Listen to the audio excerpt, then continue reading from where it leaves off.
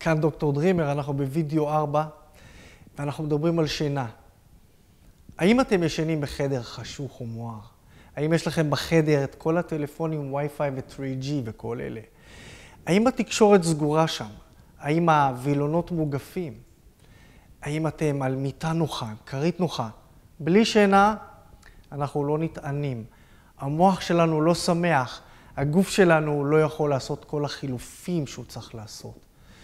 שימו לב, תבחנו את השינה שלכם, את הפרק זמן שאתם ישנים, את הנוחות שאתם ישנים, את הכיוון שאתם שמים את הראש, זה מאוד חשוב.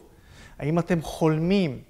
שינה היא קריטית. לכם ולילדים שלכם, תדאגו שהחדר יהיה חשוך, שיהיה שקט, שמכשירים אלקטרונים לא יהיו שם, שלא תהיו קרובים לחשמל, ושהראש שלכם נמצא בכיוון הנכון מבחינת צפון, מערב, מזרח, דרום. אני יודע שאולי זה יעורר לכם שאלות, אבל אפשר לבדוק את זה.